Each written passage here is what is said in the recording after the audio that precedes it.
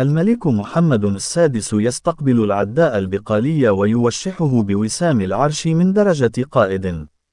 استقبل الملك محمد السادس اليوم الأربعاء بالقصر الملكي بتطوان العداء سفيان البقالي الذي توج بالميدالية الذهبية في سباق ثلاثة آلاف متر موانع خلال الألعاب الأولمبية الأخيرة دورة باريس 2024 وبهذه المناسبة وشح الملك العداء سفيان البقالي بوسام العرش من درجة قائد.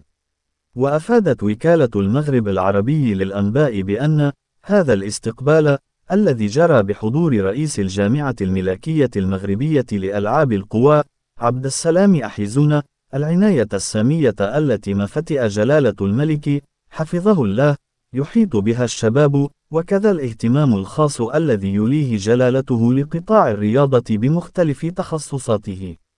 ويأتي هذا الاستقبال عقب الإنجاز التاريخي وغير المسبوق الذي حققه العداء المغربي خلال الألعاب الأولمبية الأخيرة حيث تمكن من الحفاظ على لقبه للمرة الثانية على التوالي بعد نسخة طوكيو 2020